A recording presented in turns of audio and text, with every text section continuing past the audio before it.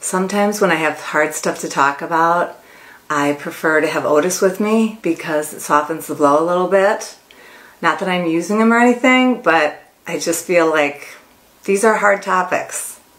And it's about getting rid of stuff. And it's about the things we say, or I hear you say, or I said it last weekend when I was standing in my garage about something.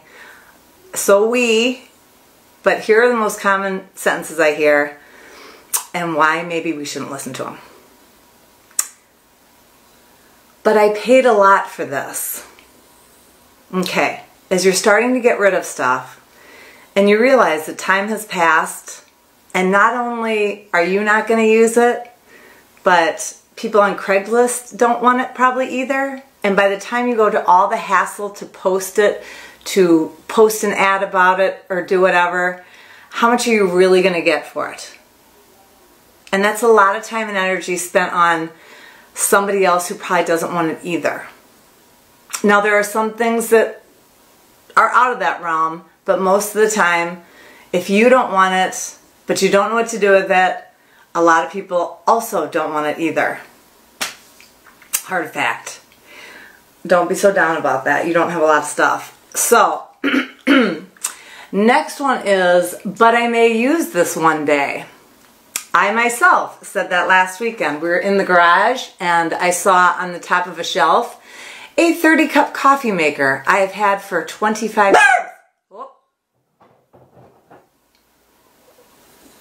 Wow, see that protection? That was the mailman.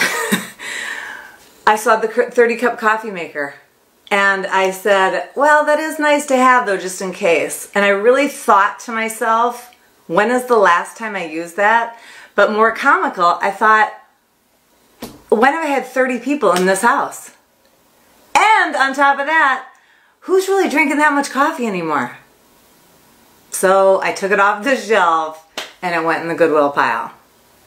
Sometimes you're just not going to use it again.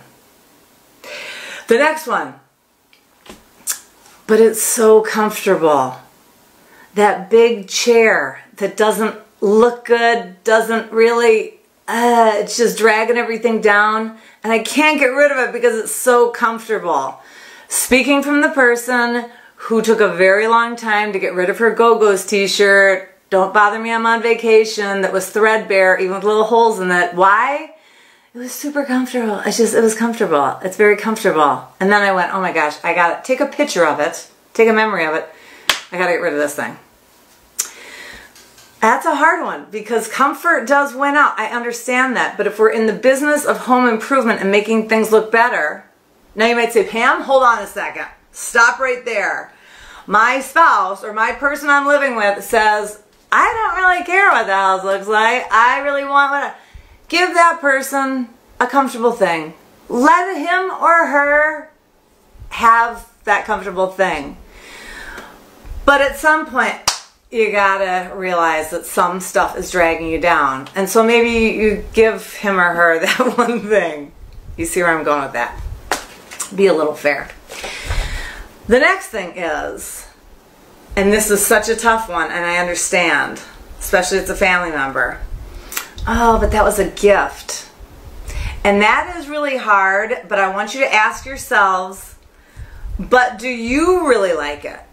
But do you really like it? Because you live in your house every day and it could be a gift from a friend or it could be sometimes I find when we're trying to get rid of stuff too, we'll say things like, well, that was, you know, uh, something that somebody get, you know, and then I found out they don't really even know the person and they don't really like it all that much. I'm not saying regift it. I'm saying it just shouldn't even have space in your house. That, that's all I'm saying. Because that too is just another thing, a clodhopper thing that's sitting there that you don't particularly care for. And lastly, I can't believe you've sat here the whole time, Otis, but I know you're interested in this and you don't have a whole lot of stuff, so you probably feel good about yourself. But the biggest thing too is I have two I'm going back and forth with. But um, when we talk about this stuff, we could easily talk about rooms like this. I'm going to touch on this one real quick about our closets. when we say things like, but I might wear that again. The thing you gotta realize, girls and guys, you gotta realize styles are changing so fast that even if something fits or something whatever you got different style cuts of t-shirts you got different blouse sizes different collar sizes skirts are going up and down the hems and whatever. But you put it back there thinking it's going to come around. It's it's it's just not. It's just it's not going to make you feel good about you wearing out. So it's the same thing about your house. Use that mentality that you know why am i jamming all this stuff in the closet when you're not going to wear it again it's just taking up valuable, like I'd like to say, valuable real estate in your closet.